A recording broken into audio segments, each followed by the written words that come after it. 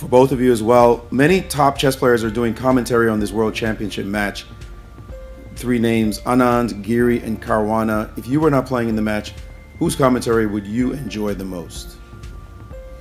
Uh, I'll get you. Yeah. Well, actually, since I have, uh, I, I did some commentary for the previous match. Uh, probably it would be my my commentary. Um. Yeah. Uh, I, I, I'm really sorry. I just don't even remotely care.